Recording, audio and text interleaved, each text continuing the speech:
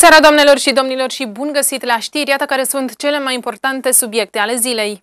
Blocaje, cozi, tamponări, accidente, nervi întinși la maximum, injurii spuse printre dinți sau răgnite în gura mare. Cam aceasta este radiografia traficului rutier din Deva la doar două zile după ce semafoarele inteligente au fost puse în funcțiune. Autoritățile din România sunt îngrijorate de numărul tot mai mare al tinerilor care termină școala, nu-și găsesc un loc de muncă și solicită ajutor de șomaj. După prima sesiune a bacalaureatului, circa 500 de absolvenți de liceu din județ s-au înscris în rândurile șomerilor. Medicii hunedoreni amenință cu proteste dacă problemele lor nu sunt soluționate de către reprezentanții guvernului. Hotărârea a fost luată la nivel național. Prelucrarea ceramicii a fost dată pe teritoriul României cea din tâi și cea mai importantă industrie casnică. Astăzi pe Olarii poți număra pe degete, iar Obârș a rămas singurul loc din țară, în afară de Sibiu, unde bătrânii știu să meșterească lutul. Timp de o săptămână, caratiști de toate vârstele și cu palmarese dintre cele mai diverse din sud-vestul României, dar și de peste hotare, s-au antrenat împreună la Deva, în cadrul stagiului de pregătire organizat de clubul sportiv Heian. Mai multe amănunte despre toate acestea chiar acum la știri. Blocaje, cozi, tamponări, accidente, nervi întinși la maximum, injurii spuse printre dinți sau răgnite în gura mare. Cam aceasta este radiografia traficului rutier din Deva la doar două zile după ce semafoarele inteligente au fost puse în funcțiune. Administrația locală face apele la calm și înțelegere și garantează că după vreo două săptămâni toți șoferii vor simți adevăratele efecte ale inteligenței sistemului amplasat pe principalele artere rutiere ce străbat reședința de județ. Pe conducătorii auto din Deva nu încălzește cu nimic faptul că Deva este al șaselea oraș din România care are un sistem centralizat de semaforizare. Îi bulversează, în schimb, numărul foarte mare de semafoare. 141 pentru vehicule și 166 pentru pietoni, amplasate pe o lungime totală de vreo 10 kilometri. O să fie groaznic. Groaznic? Da. Deci nu cred că au fluidizat uh, traficul în niciun sens. Ba mai mult cred că l-au încurcat. Multe și fără rost. Sunt cam multe, depinde și de loc unde sunt amplasate. Pentru că sunt locuri unde chiar mi se pare inutil. Sau locuri unde ar trebui să fie și nu sunt. Cum vă descurcați? O parte sunt bune, pe alta nu, că ne cam încurcă pe noi taximetriștii, nu ajungem la timp. Prea multe. Deci pe Eminescu aici, pe strada asta, cum îi spune, pe Eminescu, sunt patru într-un kilometru. Nici la Paris nu așa. Multe, multe. Aveți o propunere? Să mai facă cu buton, din alea cu buton. Deci aici, pe Eminescu, ar putea să le facă cu buton pe cele de la biserică și pe cele de la de acolo, de la postul milițianul grăbit. Da, deci să funcționeze doar când sunt pietoni. Exact, exact, exact. Că acolo nu circulă nimeni. Acolo noaptea nu nimeni pe acolo. Semaforizarea pe care au făcut o bătaie de joc. Atât de multe semafoare încât unii conducători auto, cum este această șoferiță care vorbește la telefon și care nu-și dă seama că va fi amendată pentru că a trecut pe roșu. La fel și taximetristul din imagine, care pur și simplu pe ultimele secunde de verde a țâșnit în trafic, obligându-i pe ceilalți participanți să se ferească din calea lui. Nici pietonii nu sunt obișnuiți cu numărul mare de semafoare și se aruncă în mijlocul străzii fără să se asigure și fără să se gândească la consecințe. Ați trecut pe roșu, doamnă? Da. Ați trecut pe roșu. Ce Păi, trebuie să treceți pe verde, nu pe roșu. E semafor. De asta spuneam, e semafor. Reprezentanții primăriei garantează că în cel mult două săptămâni lucrurile vor intra pe făgașul normal. În acest timp, șoferii vor învăța disciplina în trafic impusă de sistemul de semaforizare, iar sistemul, la rândul său, va avea suficiente date astfel încât să se modeleze după traficul din reședința de județ, chiar și pe timp de noapte. Mai e un principiu foarte important după care întreg sistemul se ghidează uh, și anume principiul uh, bonusului pentru șoferii cu minți. Și anume, dacă mergi cu viteza legală, ești recompensat cu culoarea verde a semaforului la toate semafoarele de pe artera de circulație pe care te afli. Dacă nu respecti viteza legală de pe acel tronson de drum, vei fi uh, sancționat, în ghilimele, cu roșu. E foarte simplu. E un principiu care uh, se aplică de foarte multă vreme în alte, în alte țări și care are drept scop uh, educarea șoferilor în a respecta vitezele legale de deplasare. Dar până când sistemul va învăța ce trebuie să facă pentru fluidizarea traficului rutier, toate ponoasele le suportă primarul Petru Mărginean, a cărui singură vină este doar aceea că a inaugurat investiția. Proiectul aparține de fapt fostei administrații și a fost inițiat încă din anul 2011, toate analizele și cercetările de trafic fiind făcute pe vremea când la cârma urbei era Mircea Muntean.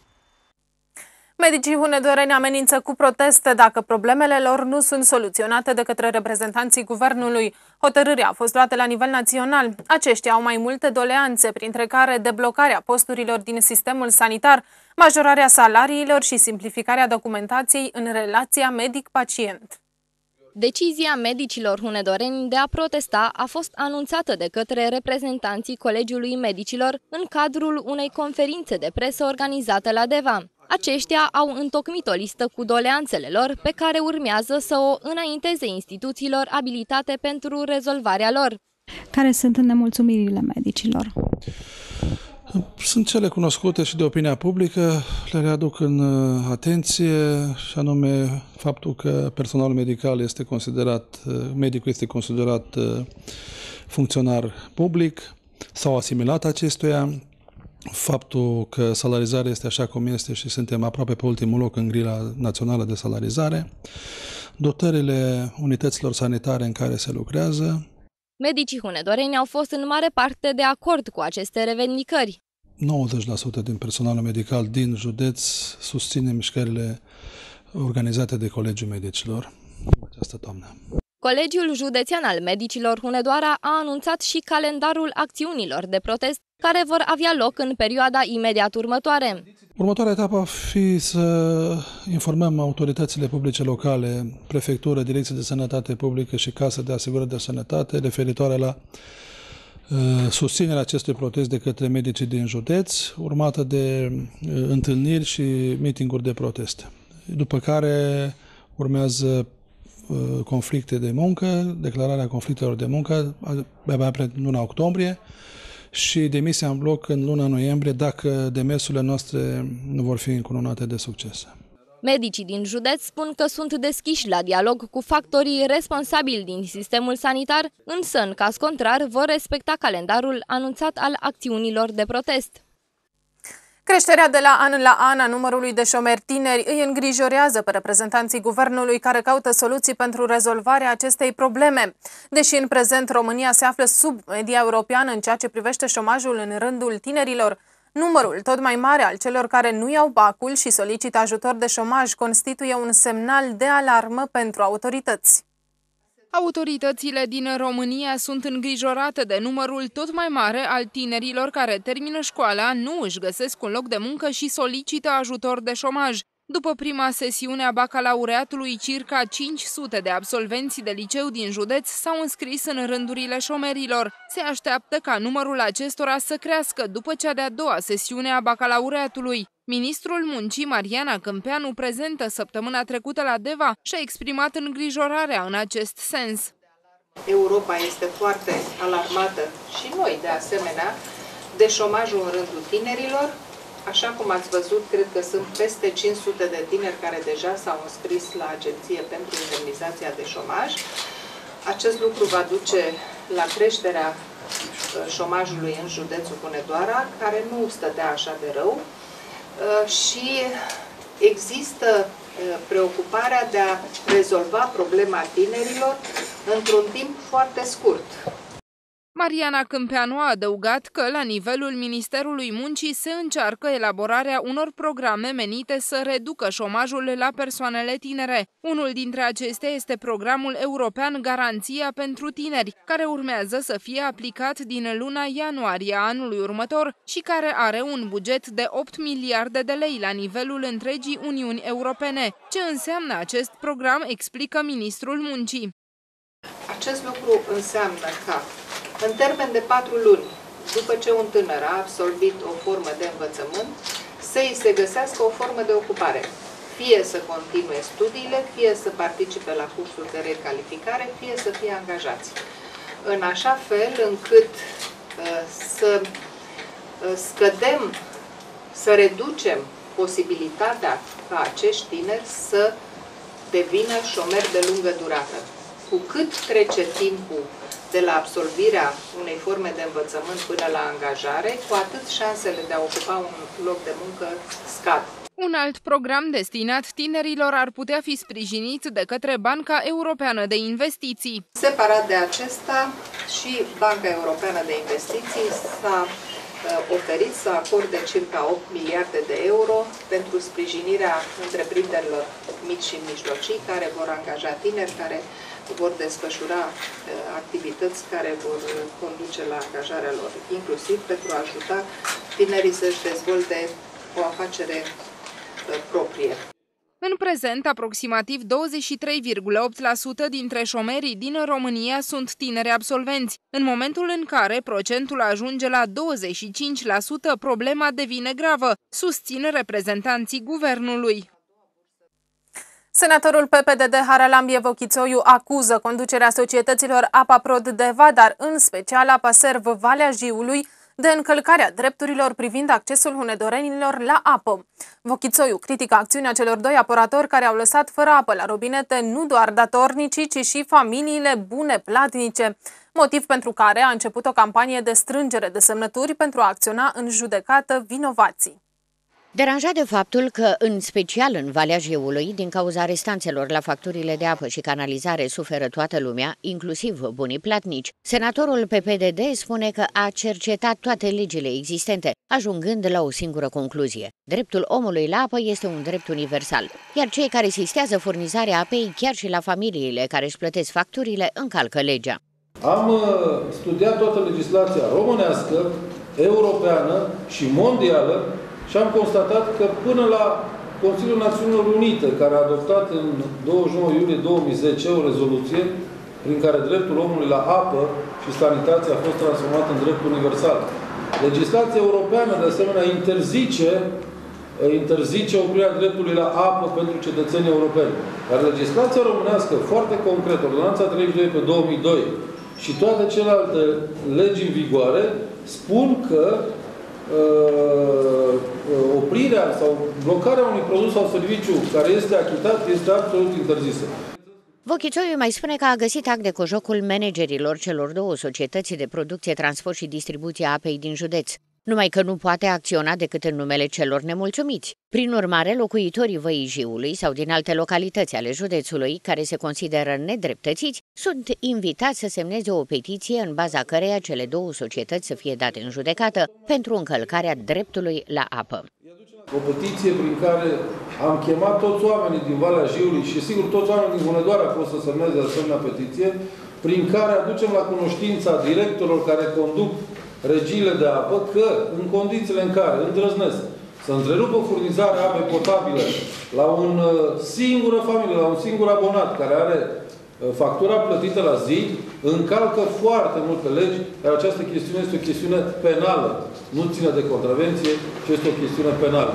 Deci cred că în acest moment, punedorenii au dreptul, nu vor mai fi supuși la, la teroarea și la batjocura la care erau supuși de către cei care conduceau uh, uh, regiile, aceste două regii de apă din uh, județul Hunedoara. Costel Avram, director general al SECE Apa Serv Valea Jiului, declară la rândul său că acțiunea lui Văchițoiu este una pur populistă. Senatorul PPDD fiind în căutare de capital electoral și nimic altceva. Îi spun atât. Minte cu nerușinare, să facă ceea ce dorește dumnealui. Eu sunt conștient de ceea ce fac. Nu am făcut nimic ilegal, totul este legal. Se leagă de faptul că la o asociație din Carpați, în cartierul Dimitrov, uh, la solicitarea președintelui asociației, există hârtia dată de asociație, mi, s-a transmis că dacă până într-o anumită dată, 13 iunie, nu se va plăti, mi s-a cerut expres să opresc apa la toată asociația, fiindcă există vreo 4 miliarde de lei vechi datoria. Deci, nu am oprit apa la nimeni care uh, avea plătită apa și mă refer aici la asociații și eu vreau să vă spun un singur lucru că în detrimentul celor 30% care nu înțeleg să plătească apa, nu voi mări prețul pentru ceilalți 70%, iar cei 30% vor rămâne fără apă, fiindcă ei trebuie să fie conștienți că ce consumă trebuie să plătească. Abia după ce criza financiară a făcut timp de patru ani ravagii în economia Uniunii Europene, pe holurile Comisiei Europene a început să se discute din ce în ce mai des despre reindustrializarea statelor europene ca soluție economică salvatoare. În acest context, dat fiind istoricul, dar și potențialul industrial, județul Hunedoara ar putea deveni unul dintre județele importante din România, declară europarlamentarul Iuliu Winkler. Incontestabil, Germania iese și rămâne deocamdată locomotiva economiei europene. Și asta pentru că nu a căzut, ca majoritatea țărilor membre ale Uniunii Europene, în capcana economiei bazate pe servicii.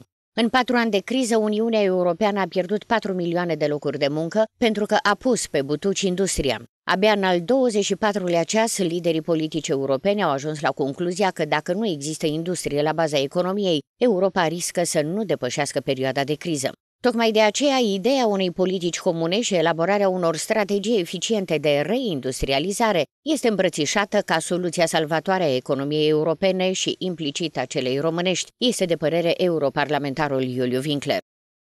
Acea economie care nu are o bază industrială pierde competitivitate, acea societate în care industria nu e importantă pierde inovativitatea, inventivitatea. De aceea eu cred că este acut nevoie să vorbim despre reindustrializare în România, să vedem care sunt acele ramuri industriale care uh, dispun și de materii prime, eventual de condiții și de forță de muncă calificată, să vedem exact în uh, programul uh, și în proiectele acelui cadru de uh, acord de parteneriat dintre România și Uniunea Europeană Europeană, care vor fi domeniile prioritare pe care noi le semnalăm, dar aceste domenii vor trebui să includă în mod obligatoriu, după opinia mea, uh, domenii industriale, în primul rând în domeniul construcțiilor de mașini, uh, probabil cu siguranță în domeniul energetic, uh, dar și în alte domenii în care România dispune de expertiză.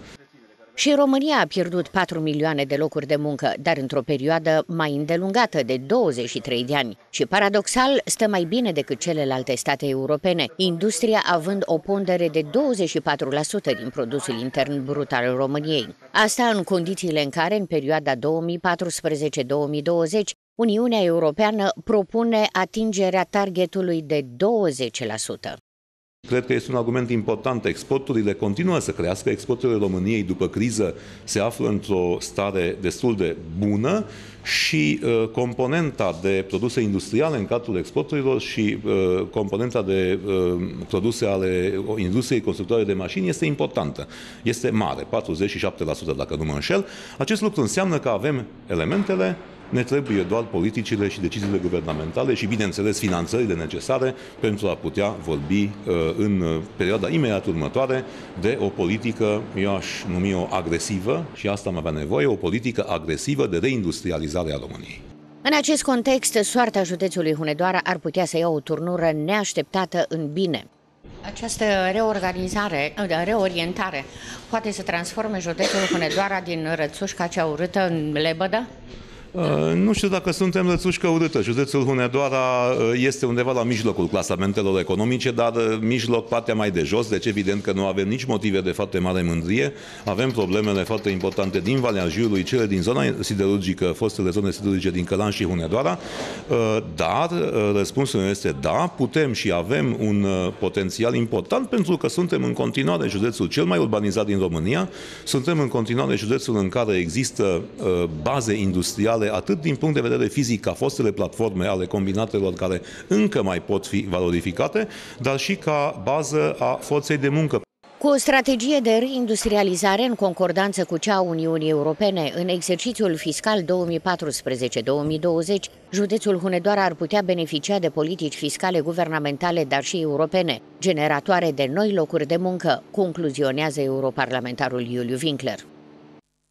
Prelucrarea ceramicii a fost odată pe teritoriul României cea din tâi și cea mai importantă industrie casnică. Astăzi, pe Olarei poți număra pe degete, iar Obârș a rămas singurul loc din țară, în afară de Sibiu, unde bătrânii știu să meșterească lutul. Peste 500 de oameni din trei județe au bătut drumul duminică până în centrul ceramicii din țara Zarandului, Unii au plecat acasă cu oalele meșterite de obârșeni, alții s-au dat în vânt după muzica bănățeană. Olarii obârșeni sunt vestiți pentru ceramica tradițională pe care o făuresc din moși strămoși și în fiecare an și-o expun la târgul de pe platoul Lacuri la o săptămână după târgul de fete de la Găina. Îi recunoști imediat după oalele care își păstrează formele arhaice. Și oricine știe că sarmalele, de pildă fierte într-o oală de lut, prind gustul specific mâncării tradiționale. Petru Borza meșterește lutul de 65 de ani. Cu asta se ocupă de când se știe. Oalele lui au ajuns la târguri prin toată țara și ar învăța și pe alții meșteșugul pe care l-a prins de copil, dar tinerii de azi nu mai sunt interesați de tradiții, așa că olăritul riscă să dispară. Aș mai lăsa să fie viitorilor, dar nu au înclinații într-așa ceva. Și după aia, ce să vă spun, a fost la târguri de organizate de muzeu cu Consiliul Județean, Oradea, Cluj, Timișoara, Sărbătoarea de la Lacuri s-a aflat anul acesta la a 16-a ediție. Chiar dacă olăritul și-a cam pierdut din strălucire, ultimii meșteșugari din Tomești continuă să se întâlnească în fiecare an la Obârșa. O mână de oameni care se încăpățânează să păstreze tradiția atât timp cât o să-i ajute mâinile să dea formă lutului. Acum patru decenii veneau la târg cu zecile, iar astăzi abia dacă mai sunt 10 familii de olari în toată comuna. Și de dragul tradiției cu care s-au născut, țin cu dinții de meșteșugul care le-a dus vestea în toată țara. În comuna Tomes mai găsesc dogari, olarii care sunt satul Obârșa și Dobroț, storcătorii de ulei de semințe de dovleac, dar acesta este un uh, meșteșug uh, sezonier, în special în postul Paștelui, la, în primăvara postul Paștelui, atunci se practică acest meșteșug. Din păcate, toate meșteșugurile astea sunt uh, într-un regres total și nu neapărat datorită efectelor uh, benefice financiare care se ascund în spatele acestora, ci mai mult toate indolenței sau lipsei de interes a tineretului. Voicu Negriu e din Dobroț, are 66 de ani și de 13 ani a învățat să dea viață lemnului. Îl transformă în linguri de diferite mărimi. Ea având alte posibilități în cauza cum că în familie o duc greu, am avut animale, m-am apucat să fac pe linguri.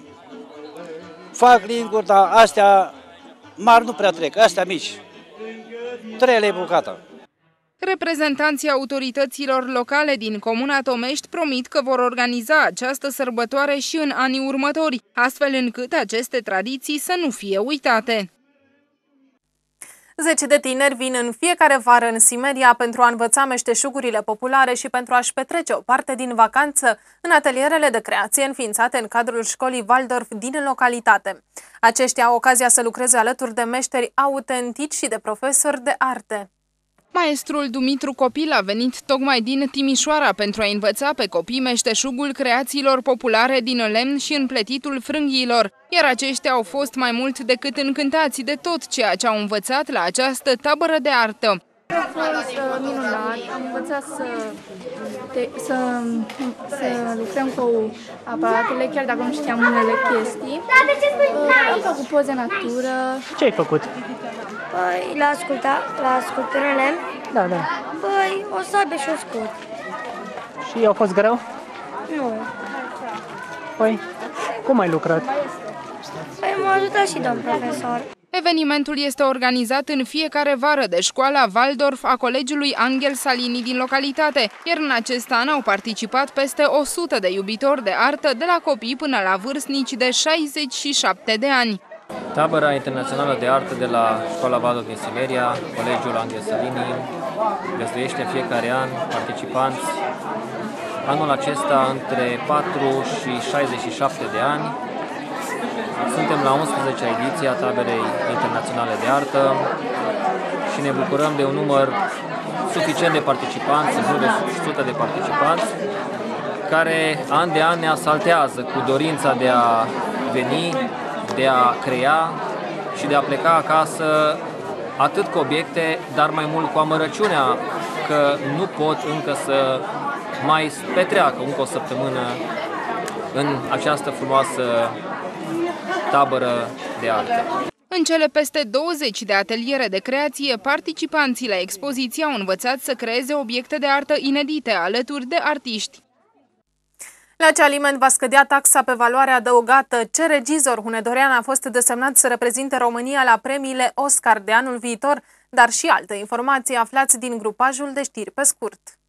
Un turist englez în vârstă de 75 de ani s-a rătăcit ieri în zona Scorota Buta, în munții Retezat. Bărbatul a plecat împreună cu fiul său în drumeție, însă la un moment dat aceștia se pare că s-au despărțit, urmând ca peste puțin timp să se reîntâlnească, lucru ce nu s-a mai întâmplat însă. Fiul bărbatului a alertat imediat poliția, care la rândul ei a anunțat jandarmii montani din cadrul postului Câmpului Neag. Imediat jandarmii împreună cu salvamontiștii, dar și cu fiul englezului, au plecat în căutarea bărbatului. După o perioadă nu foarte lungă de timp, bărbatul a fost găsit de salvatori în jurul orei 20.30. Acesta a coborât la baza muntelui după ce, potrivit reprezentanților Inspectoratului de Jandarmi Județean Hunedoara, s-a abătut de la traseul inițial. Turistul nu a avut nevoie de îngrijiri medicale, starea sa de sănătate fiind una bună. Taxa pe valoare adăugată va fi redusă la pâine de la 1 septembrie, iar impactul negativ al măsurii, calculat la 100 de milioane de lei, va fi compensat prin creșterea accizelor la alcool și introducerea de accize la bunurile de lux. Pentru mașini, acciza va fi aplicată în cazul autoturismelor de teren, a căror capacitate cilindrică este mai mare sau egală cu 3000 de centimetri cubi. Această măsură a fost acceptată și de către experții femei în speranța că va contribui la diminuarea evaziunii fiscale. Toți minerii din Valea Jiului vor primi până în data de 5 august tichete cadou în valoare de 350 de lei. Primele sunt acordate cu ocazia Zilei Minerului, iar de ele vor beneficia aproximativ 7500 de ortaci, atât angajații ai Societății Naționale a Huilei, cât și ai Societății Naționale de Închideri Mine. Tichetele sunt acordate conform contractului colectiv de muncă, iar valoarea acestora a fost stabilită în urma negocierilor dintre administrație și organizațiile sindicale. Cele două societăți vor organiza licitații pentru a stabili furnizorul de tichete.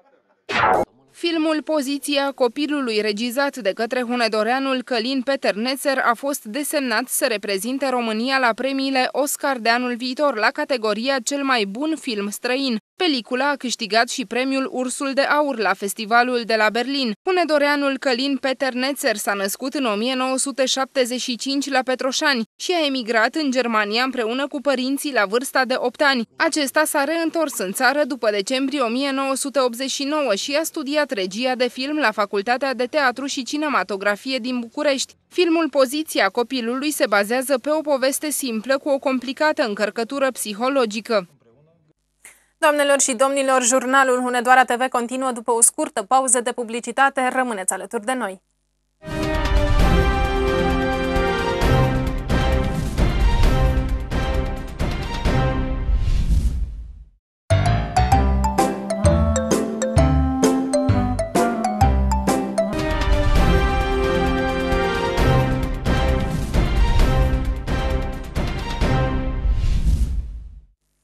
Continuare la știri avem informații din vestul țării.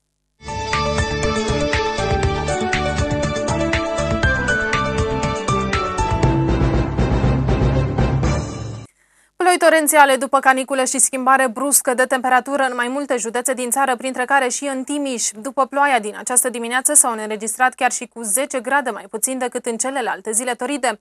Însă, meteorologii ne anunță că urmează și alte zile cu temperaturi foarte ridicate. După ce timp de o săptămână în care temperaturile au fost unele caniculare, ploaia care a venit marți dimineață a domolit căldura și a reechilibrat valorile termice. De la cele peste 40 de grade înregistrate la începutul săptămânii, odată cu ploaia și mercurul din termometre a scăzut la 27-28 de grade Celsius. Chiar dacă nu se așteptau la o astfel de schimbare, timișorenii abia au așteptat să iasă la o plimbare. Este o plăcere pentru că în sfârșit putem respira. E mai bine. Am scăpat de caniculă și ne simțim mai bine. Au fost zile foarte grele și nopți imposibile. E plăcut acum față de cum a fost ieri și alaltă ieri. Foarte frumos. Însă bucuria oamenilor nu va ține prea mult. Meteorologii avertizează că urmează alte zile cu temperaturi ridicate, iar ploile se vor lăsa așteptate. În continuare ne putem aștepta la o încălzire lentă, nu vom mai avea schimbări bruște. A trecut un front atmosferic în a doua parte a nopții și în dimineața aceasta.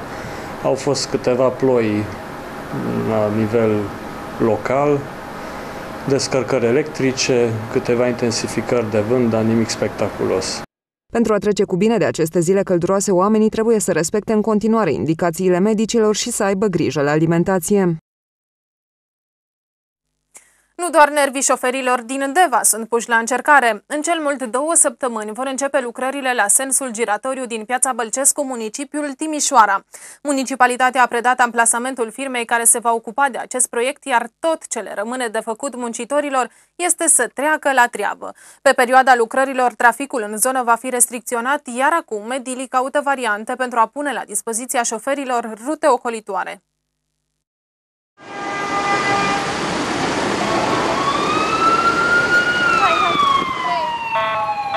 Blocajele în trafic și locurile de parcare mult prea puține sunt doar câteva dintre problemele cu care se confruntă zilnic cei care tranzitează intersecția din piața Bălcescu. Oamenii spun că un sens giratoriu ar fi soluția ideală pentru fluidizarea traficului.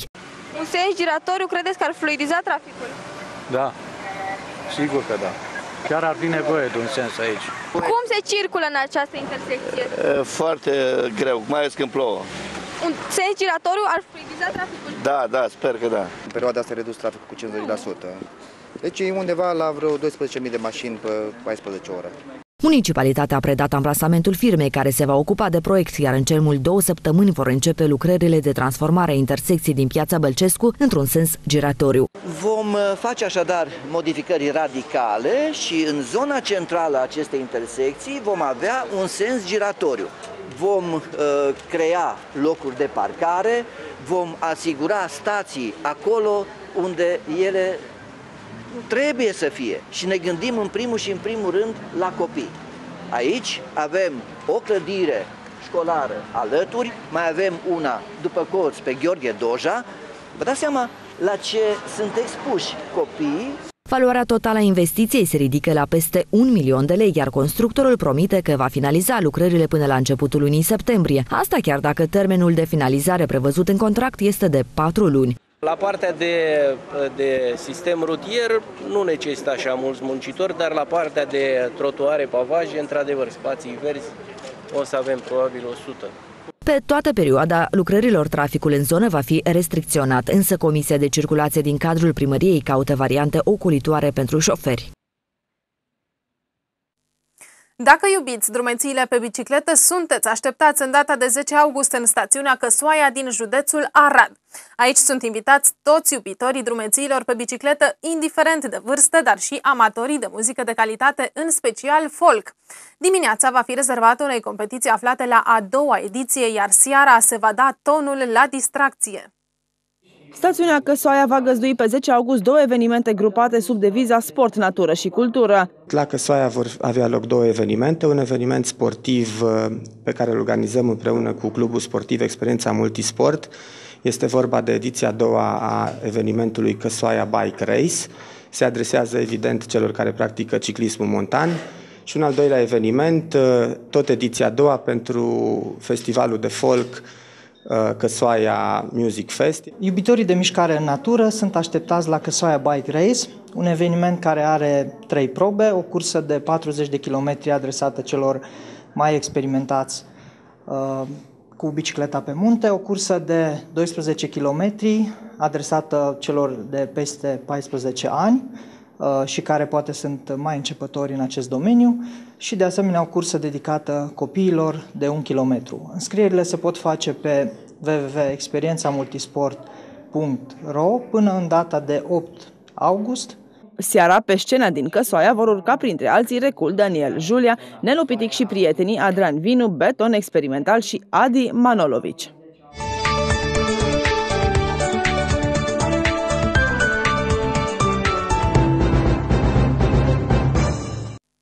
Avem acum informații din sport.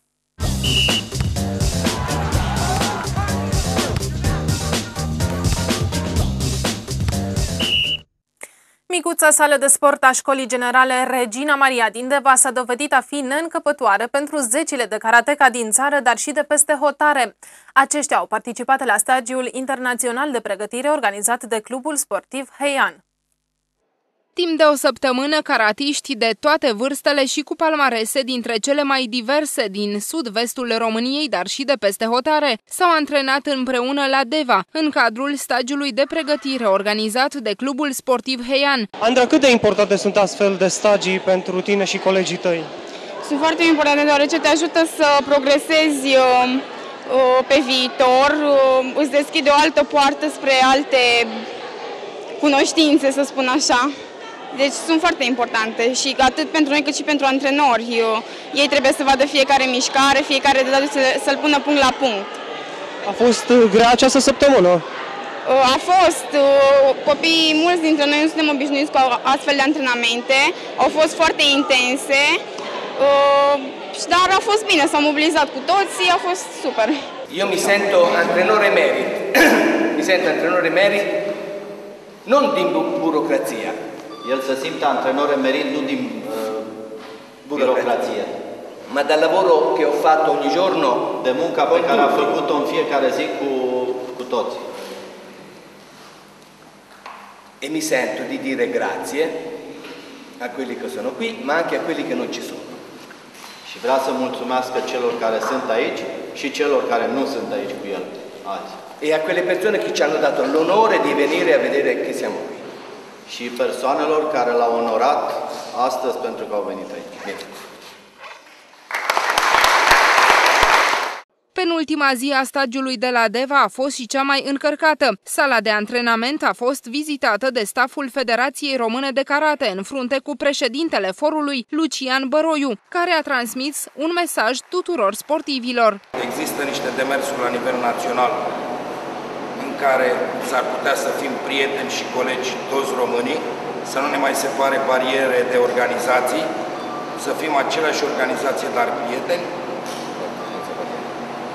S-au rupt barierele, nu mai există bariere, cel puțin din partea mea și se vor rupe și din partea celorlalți. Experiența acumulată în timpul stagiului care a avut loc la Deva i-a inspirat pe organizatori, care acum plănuiesc să demareze un proiect mai amplu în viitor, stabilirea unei tabere internaționale de karate în județul Hunedoara. Sunt convins că avem suportul total al domniei sale și a Federației Române de Karate pentru a încerca să facem o Uh, să creăm aici la Deva poate un pol, un centru de pregătire, poate pentru Cata și Toriu cu ajutorul maestrului Manini.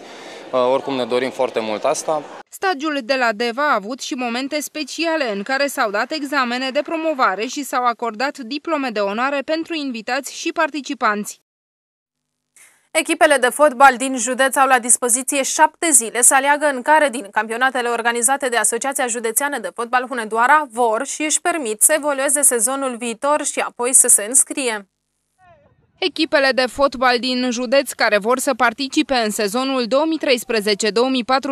al campionatelor Ligii a 4 și a 5 a Hunedoara mai au la dispoziție încă o săptămână să se înscrie. Termenul limită pentru depunerea cererilor va expira marți, 6 august la ora 14. Mai apoi, în zilele de 7 și 8 august, în funcție de câte echipe se vor înscrie, se va stabili programul și datele de disputare ale meciurilor din cele două campionate organizate de Asociația Județeană de Fotbal Hunedoara. Până acum, din cele 16 echipe care au încheiat campionatul precedent al Ligii a patra pe teren, doar CS Ghelari și-a exprimat intenția de a continua în Liga a cincea. Locul lăsat gol nu va fi ocupat, cum ar fi firesc de campioanele Ligii a cincea din sezonul 2012-2013,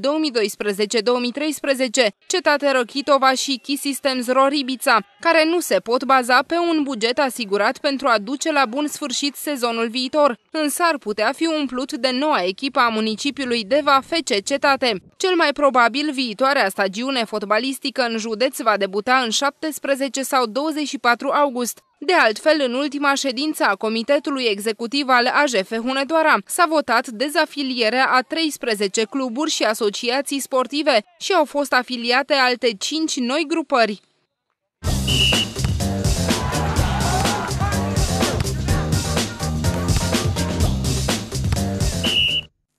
Urmează o noapte ploioasă, iar ziua de mâine ne aduce temperaturi mult mai scăzute decât până acum și averse de ploaie în tot județul. Ce temperaturi vor indica concret termometrele aflați chiar acum la Meteo?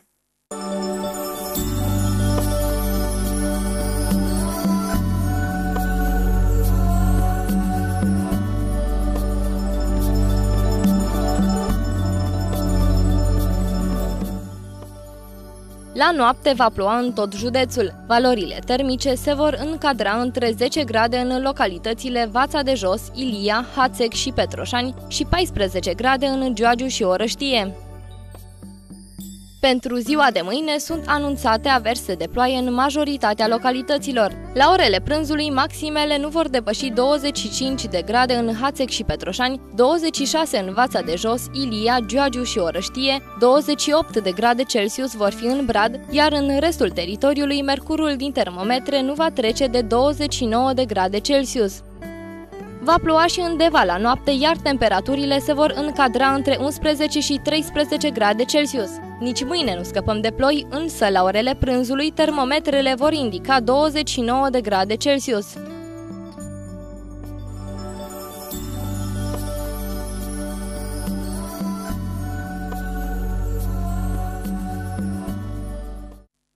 Doamnelor și domnilor, acestea au fost știrile în continuare. La punctul de vedere vin în platou Marius Dragomir, manager Big FM Deva și Mihai Feier, realizator emisiuni, cu ocazia împlinirii a 20 de ani de radio local. Urmează apoi Hunedoara în 50 de minute cu Mona Lizehin. Vă reamintesc că începând de luni, 5 august, cea mai bună dimineață de startul noului sezon, în fiecare zi de luni până vineri, de la ora 7 la 9, doar la Hunedoara TV. Și de asemenea, nu uitați că toate programele noastre pot fi urmărite și online pe site-ul nostru www.tvhunedoara.ro la rubrica live. Eu sunt Cristina Rahovian și vă mulțumesc pentru atenție. Ne revedem mâine seară. Până atunci, toate cele bune. La revedere!